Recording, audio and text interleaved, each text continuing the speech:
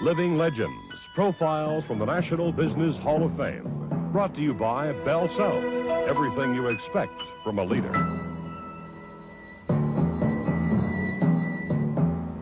Peter Lynch, former manager of Fidelity's Boston-based $13 billion Magellan Fund, surprised Wall Street in May 1990 by retiring at age 46. Acclaimed as America's top money manager, Lynch quit his 100 an hour a week job to devote more time to his family, church, and charity. A graduate of Boston College, Lynch started at Fidelity while still an MBA candidate at Penn's Wharton School of Finance.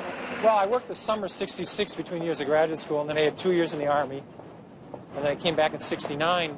And actually, it was eight years I was in the research department, you know, which was a long period of time.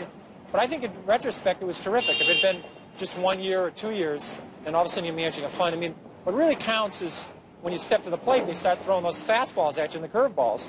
And I think the fact I had eight years in the research department, and I had been buying stocks since I was 20, and I was now 33, I think I was ready to, you know, have a chance to decide what stocks are overpriced and what stocks are valuable. Were you set free in this environment in Fidelity to do just that? Well, Fidelity, obviously, we have different types of funds. Some funds have a very strict limitation. They can only buy very conservative stocks with dividend yields. Or they have to buy overseas stocks, or they have to buy cyclical stocks. Magellan Fund was a very flexible fund, so it was an ideal product. I could buy whatever I wanted, you know, as long as I understood what they did. I mean, that was the, you know, I, I could buy overseas companies. Volvo was my largest position at one point in time. I could buy companies that were in any industry.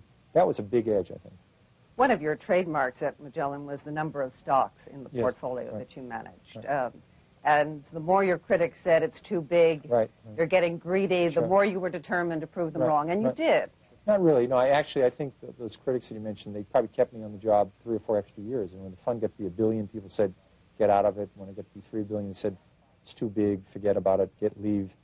And then in the last five years I managed the fund, it beat 99% of all funds, and it was the largest fund in the country.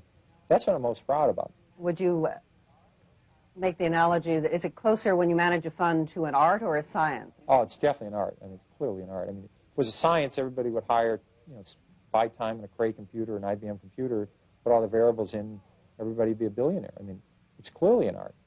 Tomorrow, outperforming the beast.